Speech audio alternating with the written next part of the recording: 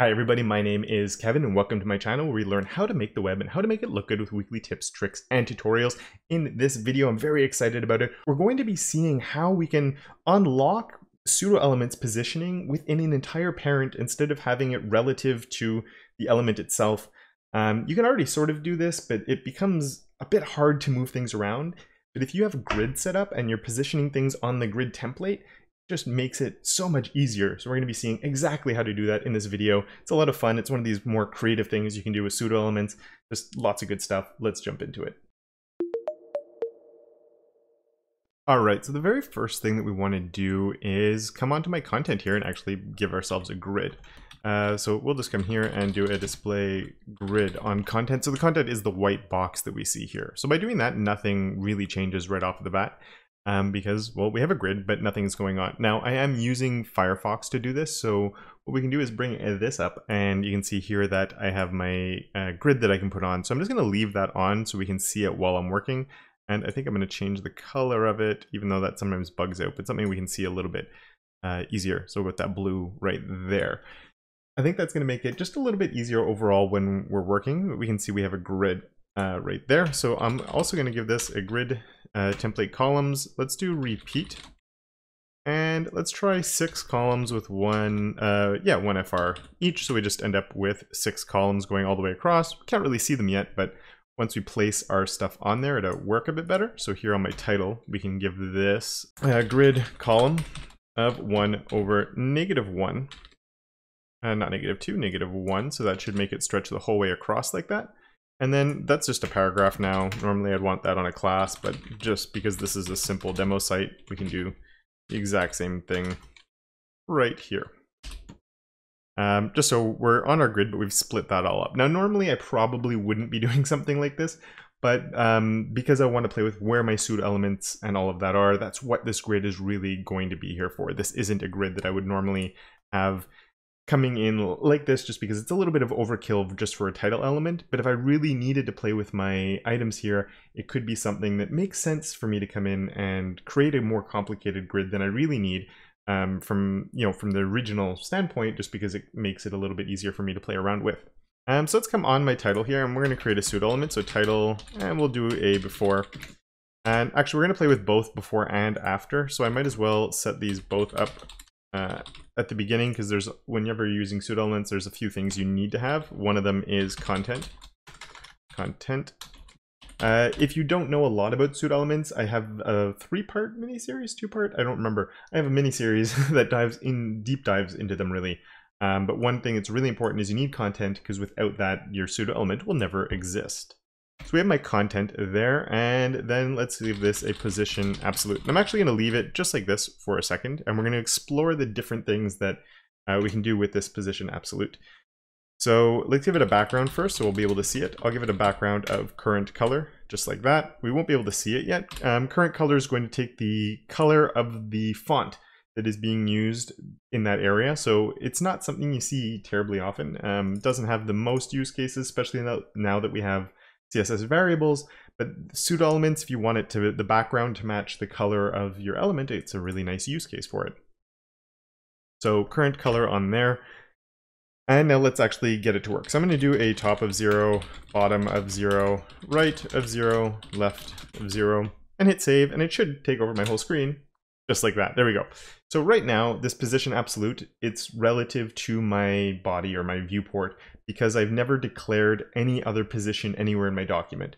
If I come up here to my content, actually, um, usually when I'm doing pseudo elements, I'm doing a position absolute on the pseudo element, and then I'm going on to the element itself, and I'm doing a position of relative on there. So if I do that, you can see it's actually covering exactly the area that my title was in. In this case, though, I don't want to do that. In this case, I want my position relative to be up here and position relative here. And that's going to cover the entire white box because this top zero, left zero, all of that, it's not looking at the padding, it's not looking at anything else. It's just going all the way across that content area. Where this gets interesting though, when you have the parent, so my content here being um, a grid container, is that when it's a grid container, we can actually position things absolutely on the grid itself. So let's take a look at that. Um, that's on these two. Actually, let's pull all of this off because I don't want them the same for everything. Let's just do my title before for the moment. And we'll save, it should look the same. But now what I'm going to do is say grid column, and let's do, just for fun, a 4 over 5. And now you can see it's fitting on my grid column of 4 over 5. Isn't that really cool? That's really exciting to me. So it's on the grid column of 4 over 5. But do you notice something else? It's not fitting completely within the grid because I've only declared a grid column. The top and the bottom are still relative to the element itself. So I find that fascinating. I find that really interesting. And uh, I think you could probably do some fun stuff with that. But for the moment, what I want to do is I want to position that guy down here in this empty space. So in that, I want to start at 4, but I want to go all the way to the end. So the end can be a negative 1. I'm going to go all the way across. Now to really fit this in properly, I'm going to make a much more complicated grid than I mentioned before. We're making grids that maybe um, you wouldn't need them to be this complicated from the beginning uh, or in a normal circumstance. But I want to come in here with grid template rows. And this time we're going to do a repeat of four. So I want four columns, but I'm going to do a min content here instead of 1FR. And my grid disappeared. Of course, it's not working. Did I forget semicolon? No. Oh, it is working, but you can see it's all getting smushed down there at the end.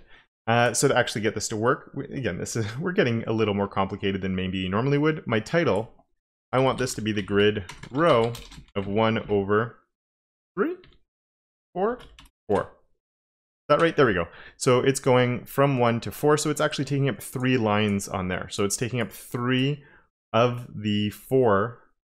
The, where did it? So I created four columns and this is taking up three of them. Kind of handy.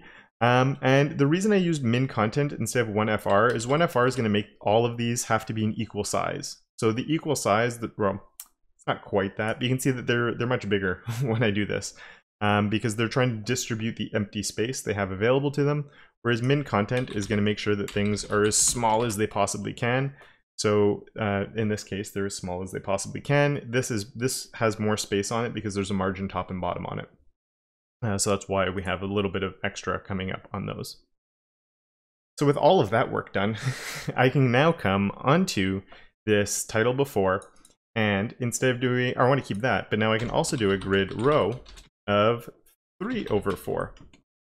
And look at that, I get this nice little decorative element that squeezes in nicely right there. So I think that looks pretty cool. Um, just leaving it something like that could be fun. Now you would have to be careful with responsiveness. Obviously it's not perfect. And if I shrink down, um, I think I would get some issues as well. You can see there's, it's not perfect.